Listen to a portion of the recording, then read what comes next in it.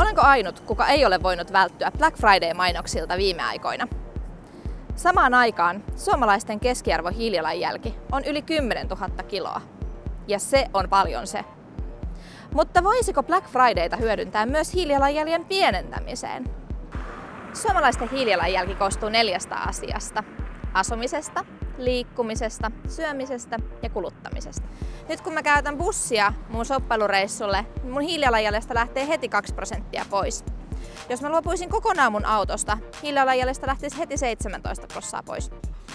Yksi supertehokas keino alentaa hiilijalanjälkeä on ostaa kierrätettyä.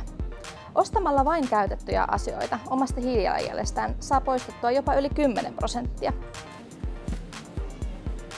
Yksi hyvä puoli Black Fridayssa on kyllä se, että silloin on usein tarjouksia kaikista hyvistäkin jutuista, kuten vaikka satokausikasviksista. Niitä syömällä kevenee niin olo kuin hiilijalanjälkikin, semmoset viitisen prosenttia.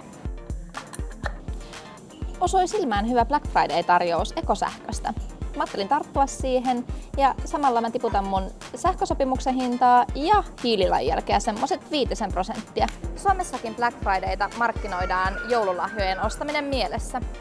Mitä jos sä ostaisit tänä vuonna sun läheisilles aineettomia lahjoja? Hiilijalanjäljen pieneneminen riippuu vähän siitä, mitä saisit ostanut sen aineettoman lahjan sijasta, mutta ne muut hyödyt, ne on vieläkin merkittävämpiä. Voit tukea suomalaista taidetta ja kulttuuria ja antaa sun läheisemmille jotain, mikä on täysin korvaamatonta, eli aikaa. Mun Black Friday-soppailukierroksen päätti visiitti lippupisteelle. Sieltä mä ostin sarjalippuja leffaan, pari konserttilippua ja sitten tämmöisen museokortin, mutta sen mä ostin itselleni.